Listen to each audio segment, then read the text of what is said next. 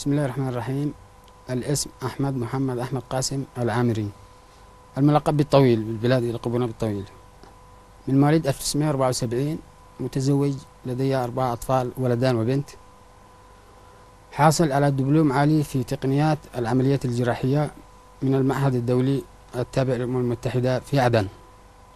أعمل رئيس لقسم العمليات فيما يسمى بمستشفى الصالح منطقة المزاحم مديرية الفرق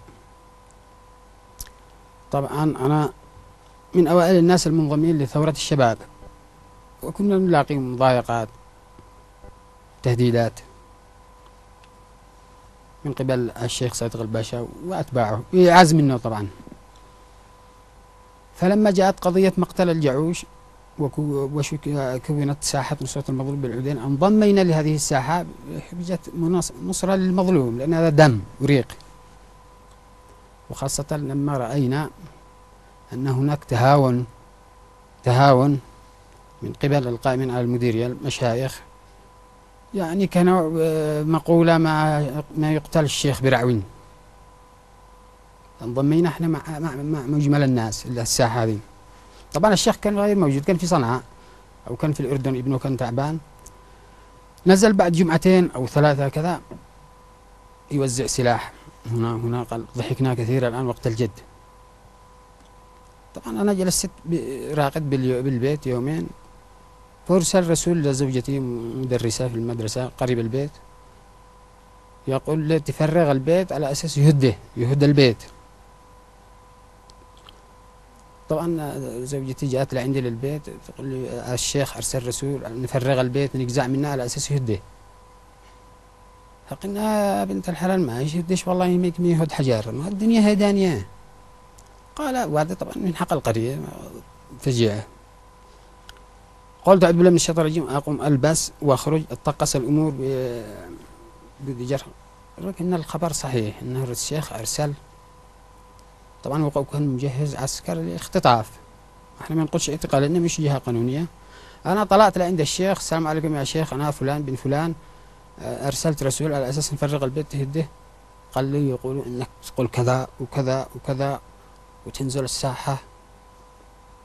وكل أنا بالنسبة لقول كذا كذا يا أيها الذين آمنوا إذا جاءكم فاسق بنبأ فتبينوا تصيبوا قوما بجهاله فتصبحوا على ما فعلتم نادمين صدق الله العظيم أما نزول الساحة أنا من جملة شعب.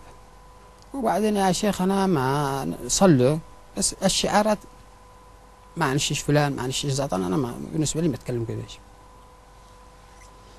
قال لي خلاص بالنسبة لك أنت تتوقف توقف بالسجن في السجن الخاص.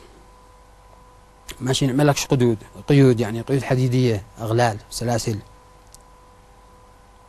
وأنا شحقق معك فيما بعد؟ طبعا بزونا بدي جرت حقه العسكر.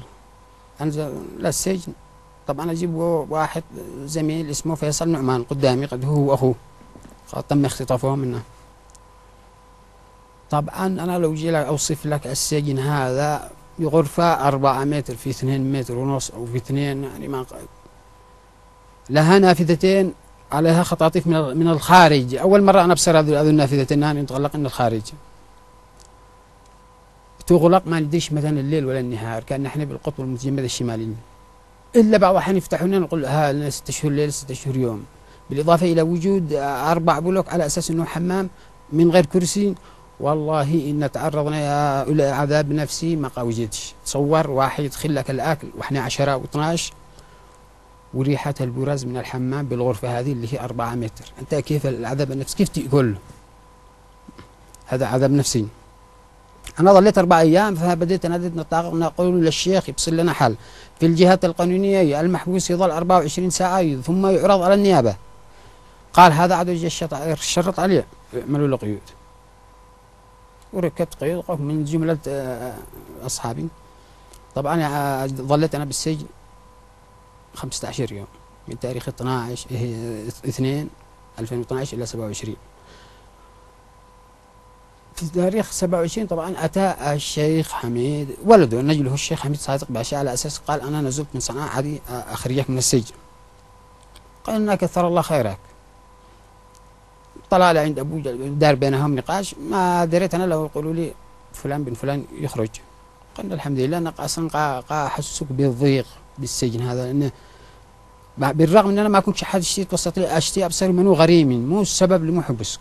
طبعا السبب نظام الثورة خرج قالوا لي طلع بعد الظهر سلم على الشيخ. خرج البيت اغتسل لأن السجن حكة ما بش فراش. ب- فجأت سلمت على الشيخ بعد الظهر قال لي يا يقول يا اخواتي يا إخواني ماذا جرى لكم؟ مو جرى لكم؟ له سكت أنا. قال جنون البقر. جنون البقر. جنون البقر يا شيخ. طبعا أنا ما أقول له ذيك الساعة. طبعا التلفونات حقي بزهم لعنده على أساس يقول نحن نشتغل بالإنترنت. نتراسل ظليت أنا السبت لا يوم الجمعه أسبوع. أروح لهم وهم يقولوا مش وقتهم. هذا وقتهم. طلعت يوم جمعة الدور الثالث اللي عند الشيخ. قلنا له يا شيخ الله يحفظك. أنا خرجت باقي التلفونات حقي ما خرجوش قال لي عاد أنا شفتش آه، راجع مكاتب المواصلات بس لمن تتصلون. لما ما يتواصلون.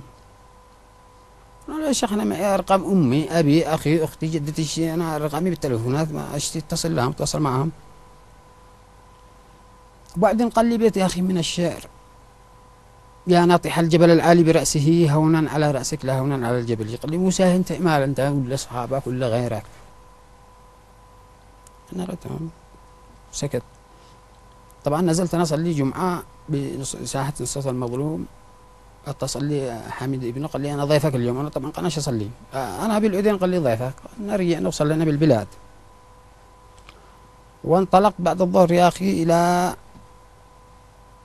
خليج الحرية ساحة آه، الثورة بإب. إما هناك مقابلة. ذكرت فيها كل ما تعرض له من اختطاف وعذاب وأوصاف السجن وكيف كنا نعاني وكيف الأكل وكيف الشرب وكيف كيف العذاب النفسي الذي مرينا به خلال الفترة هذه؟ من غير حجة لو كان بو سبب عادي. ما بوش سبب يا أخي. ما بوش سبب كذا كذا يعني ظلم.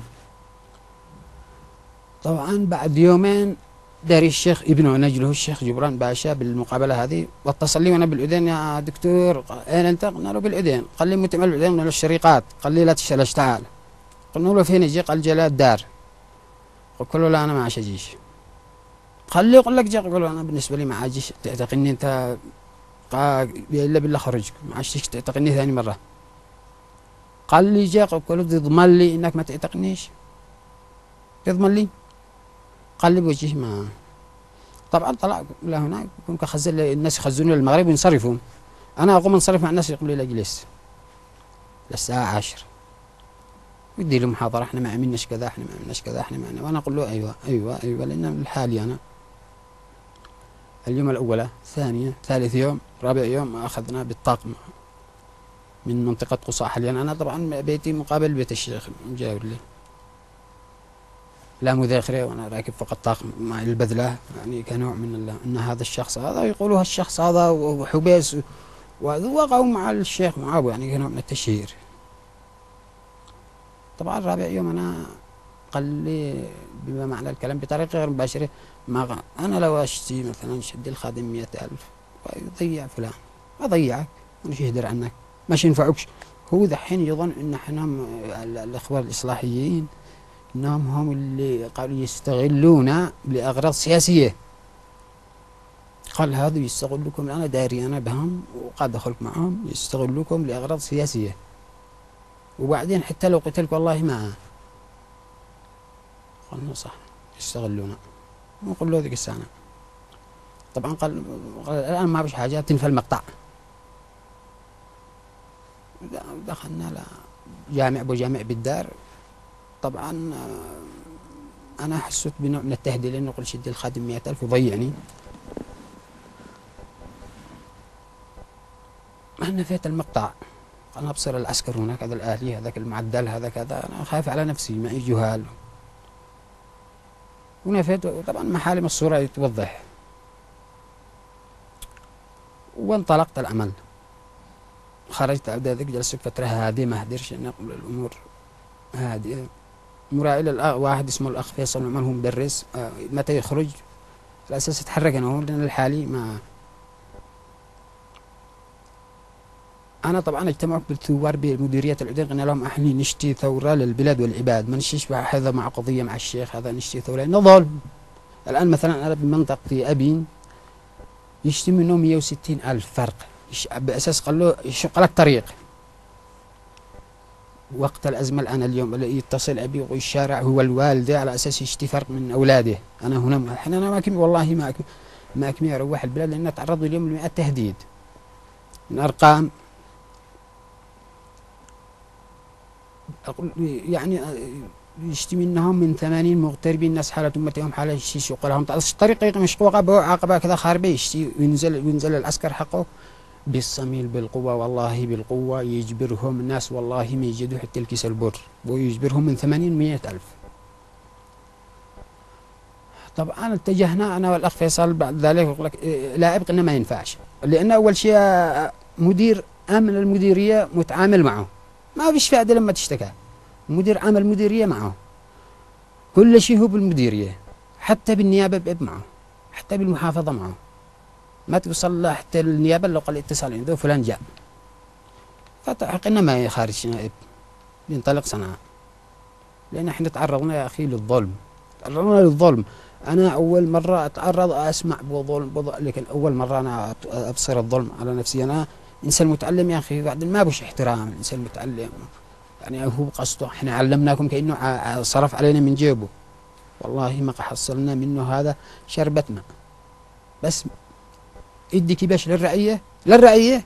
الناس مواطنين. والله إنه يوزعهم يوم العيد إلى إلى مسائل بإب والرعوي ما يعيدش. والله يعيد بدجاج. والله هنا بعضهم يعيد بدجاج وهو يربي الكبش حق الشيخ طول السنة. إحنا عايشين بمنطقة مغلقة والله أنا أتصور إلا إحنا خرجنا نتعلم. أنا ادرس بعدن ولا إحنا ثوره 26 سبتمبر أنا بتصوري لما أشوف الدنيا ما وصلت عندنا يا أخي. طلعنا صنعاء طبعا نشوف لأن أنا بصراحة أنا قلت ماشي سيبش حقي ماشي سيبش حقي يا أخي. أنا اتعرض للظلم. على أساس نتجه حقوق الإنسان نتجه وزير الداخلية بالرغم من قضايا وبالأخص كنا وجهتنا إلى قناة يمن شباب لأن بما وجدناه أنها تنقل الحقائق المؤلمة في الشعب المظالم. طبعا ف وإحنا منتجهين من إب كنا قصدنا قناة يمن شباب. صراحة لما لو من كل البرامج حقها هذه محاربة الظلم الفساد القهر العبودية. وسمعنا أنهم يا أخي معوا عبوديه اللي عندنا هناك بالمنطقة دي وبحجه ونتمنى هو الإعلام نتمنى من قناة شباب أن تكون عونا للناس لأنها هي من منطلق المسؤولية تكون عونا لهم. طبعا وإحنا هنا بصراحة نتعرض يا أخي للتهديدات نتعرض والله نتعرض للتهديدات التلفونات. وإحنا على أساس هناك نكون قريب الإعلاميين قريب القنوات طبعا وخاصة قناة يمن شباب لما يعني خاصة برنامج نافذة أمل. هذا برنامج صراحة أعجبنا وكنا مصممين على أن إحنا ننطلق بأي بأي وسيلة حتى نوصل للقناة هذه على أساس يكون يعني تكون عولا لنا حتى لأن قضيتنا ما تمثلش قضيتي أنا ولا فيصل. قضيتي أنا تمثل ربما 300 ألف مواطن مستضعفين بالأرض. ما يقدروش يسافروا ما يقدروش لأن متعذبين. طبعا من خلال البرنامج الهادف هذا ومن خلال قناتكم الموقرة والكريمة آه، طبعا أنا أناشد نناشد. إذا كان يسمع نشأنا أكثر من ألف مرة وإحنا نناشد. نناشد الأخ رئيس الجمهورية مشير عبد الرب منصور هادي. نناشد الأخ محمد سالم بسندور رئيس مجلس الوزراء. نناشد اللواء عبد القادر قحطان وزير الداخلية. ونناشد النائب العام بتوفير الحماية. أنا معرض أنا معرض والله إن أنا معرض للقاتل بأي لحظة. بحجة أن هناك برصاص طاشات وناس جو ما حد داري من وغريمه. فنناشدهم على أساس يعني يوفروا لنا الحماية.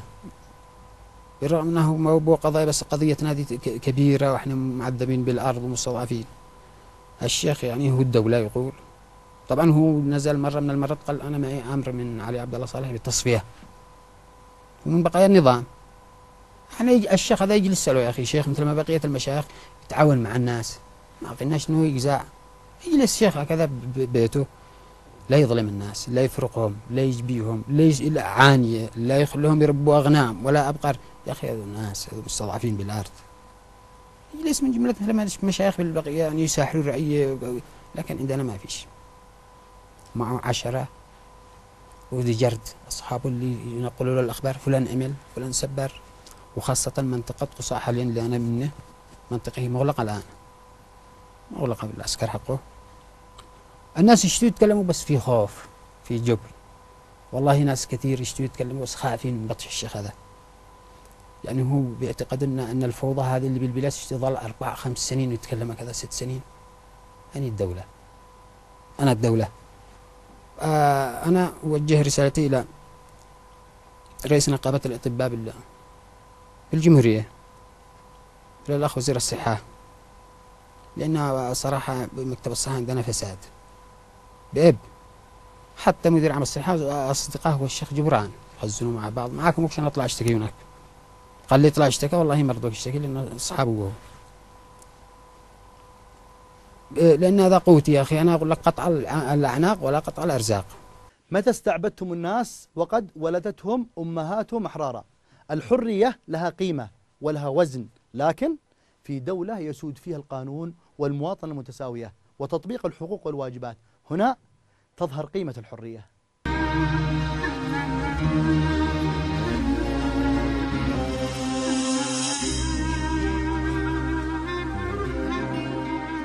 لا تزال قضية الصحفي اليمني عبد الإله حيدر شائع تمثل انتكاسة فادحة لحالة حقوق الإنسان في اليمن نظرا لما تنطوي عليه من انتهاكات لأبسط الحقوق القانونية والإنسانية المكفولة بموجب التشريعات اليمنية والقوانين والمواثيق الدولية. أنشأ العديد من الصحفيين والمدافعين عن حقوق الإنسان تحالفا مدنيا للدفاع عن الصحفي شائع ونظموا سلسلة من الوقفات الاحتجاجية والأنشطة.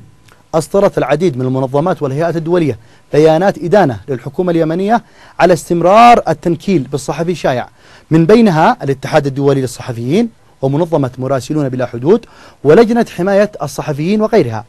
كما وجهت مؤسسة الكرامة في جنيف نداءات عاجلة لكل من المقرر الخاص المعني بمناهضة التعذيب والمقرر الخاص المعني بتعزيز حرية الرأي والتعبير. تلتمس منهما التدخل لدى السلطات اليمنية بشأن الصحفي عبد الله حيدر شائع وحمايته من التعسف وهنا نسأل لماذا لا يفرج عنه إلى الآن؟ ومن وراء عدم إخراجه؟ أترك الإجابة لكم وللتاريخ.